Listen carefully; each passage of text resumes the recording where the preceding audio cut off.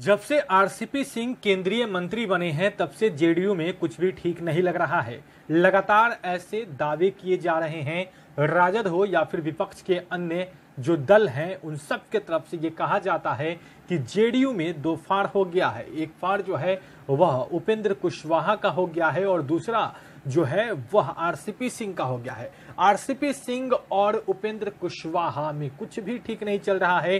JDU में कुछ भी ठीक नहीं चल रहा है। कुछ ऐसी ही तस्वीर सामने आई है। एक लेटर को लेकर अब बवाल मच गया है। दरअसल, जेडीयू प्रदेश पदाधिकारियों की मीटिंग को लेकर विवाद शुरू हो गया है। जेडीयू अध्यक्ष की तरफ़ से 18 जुलाई को प्रस्तावित मीटिंग के लिए 10 जुलाई को पत्र जारी किया गया। लेकिन 15 तारीख आते आते दोबारा पत्र जारी करना पड़ा। दूसरे पत्र में राष्ट्रीय अध्यक्ष आरसीपी सिंह को आउट कर दिया गया है और अब उपेंद्र कुशवाहा जेडीयू की मीटिंग में शामिल होने वाले हैं। 18 जुलाई को जेडीयू प्रदेश पदाधिकारियों की मीटिंग को आरसीपी सिंह संबोधित करने वाले थे। संसदीय बोर्ड के अध्यक्ष उपेंद्र कुशवाहा का उस बैठक में शिरकत करने का कार्यक्रम नहीं था, लेकिन 15 जुलाई को कुशवाहा ने जिला प्रवास का कार्यक्रम स्थगित कर दिया और अब वे जेडीयू की मीटिंग में शामिल होंगे। इसी बीच प्रदेश नेतृत्व ने 15 जुलाई को जारी दूसरे पत्र में आरसीपीसी के संबोधन कार्यक्रम को हटा दिया।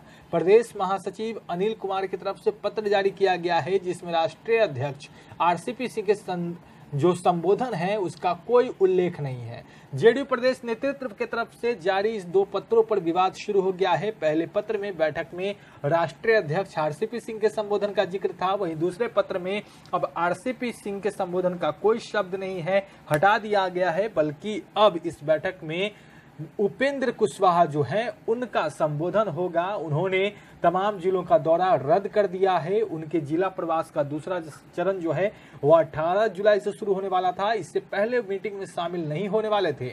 वे प्रवास कार्यक्रम में जाने वाले थे, लेकिन इन वक्त पर उन्होंने अपना कार्यक्रम स्थगित कर दिया है और जानकारी के अनुसार अब वो 18 जुलाई को प्रस्तावित जेडीयू पदाधिकारियों की मीटिंग में शामिल होंगे। वैसे उपेंद्र कुशवाहा पहली दफ़ा पार्टी पदाधिकारियों की मीटिंग में शामिल होने वाले हैं तो इसको लेकर जेडीयू में एक अलग तैयारी चल रही है, लेकिन इसको लेकर जो चर्चाओं का बाज़ार गर्म है, इसको लेकर सियासत भी तेज हो गई है कि आखिर आरसीपी सिंह का इस लेटर से नाम क्यों हटा दिया गया? उपेंद्र कुशवाहा, जो अलग दौरे पर जाने वाले थे अलग अलग जिलों में जाने वाले थे वो अब तमाम दौरों को उन्होंने रद्द कर दिया और 18 जुलाई को अब पदाधिकारियों की मीटिंग में वह संबोधित करेंगे। तो इसको लेकर अब चर्चाओं का बाज़ार गर्म है कि क्या सच में जेडीयू में अब कुछ भी ठीक नहीं है।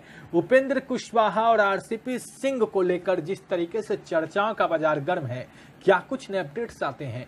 कल क्या होगा इस बैठक में? तमाम अपडेट्स के लिए बटर हेडलाइंस बिहार के साथ, आपका बहुत